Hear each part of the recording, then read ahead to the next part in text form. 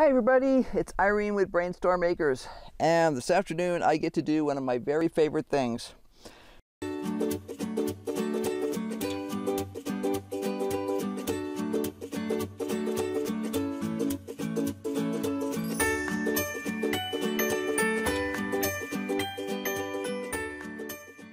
Now, for those of you who have been sort of following along a little bit, this bed here is an old flower bed that had a few herbs in it and not a lot much else except for weeds.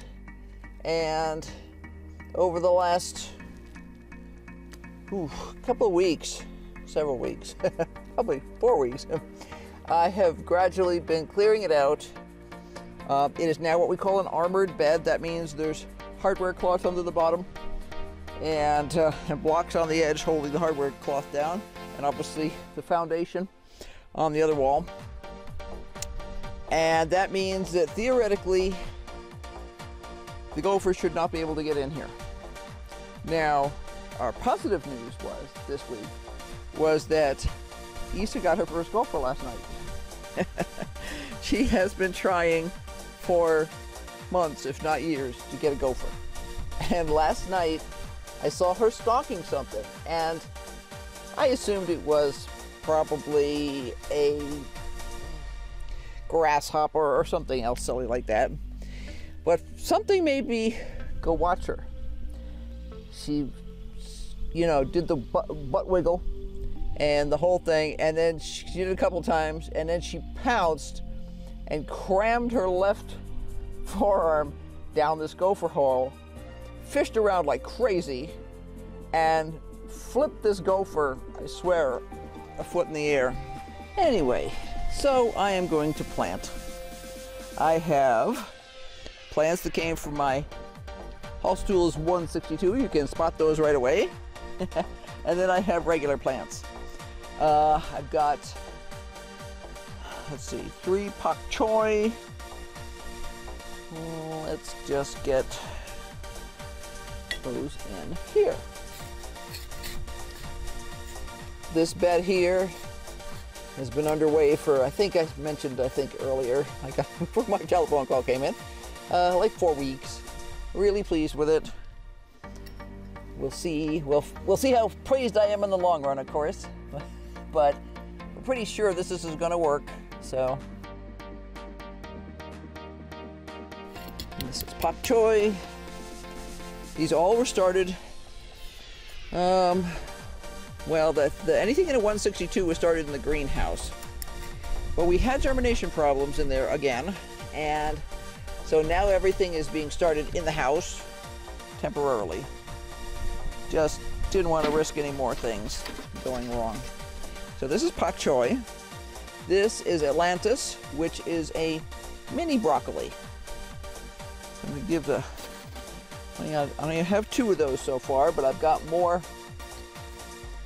currently sprouting in the dining room because that makes sense as much sense as anything else around here does. This stuff is supposed to be super heat resistant and if ever there was a test of that it would be this year so far because it has just been freaking hot which is very annoying. All right.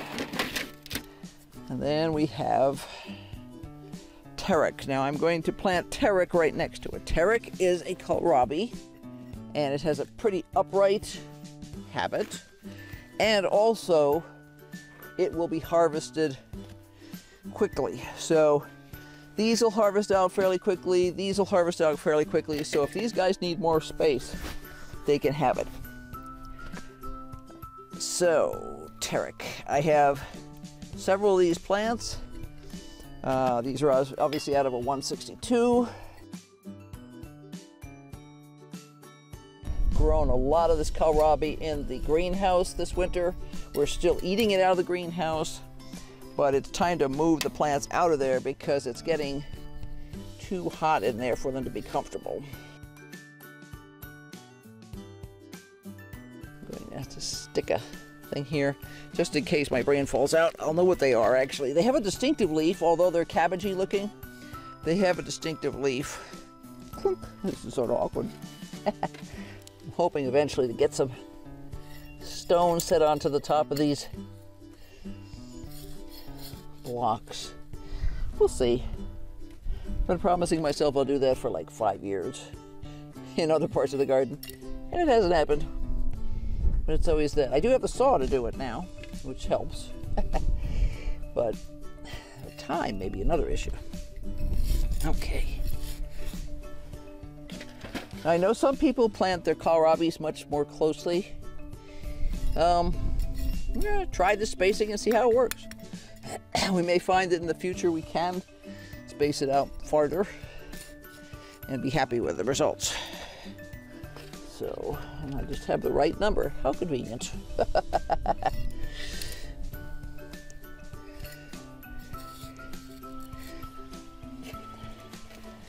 the nice thing about these is if we, by some bizarre chance we were to have unusually cold weather, which, you know, it ain't over till it's over, so you never know.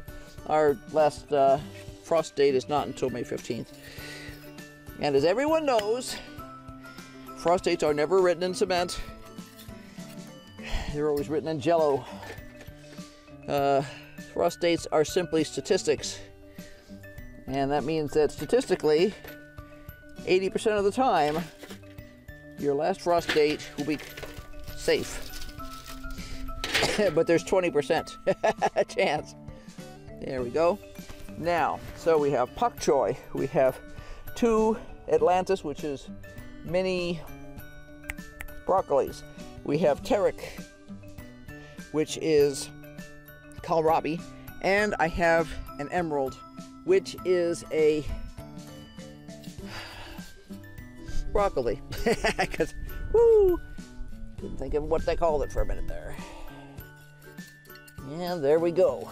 Now, I am going to water these good.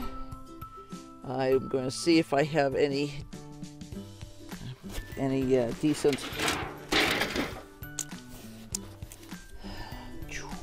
uh, mulch. I would like to mulch these, but we'll see. So hopefully this inspires you to start some stuff inside and get it out there.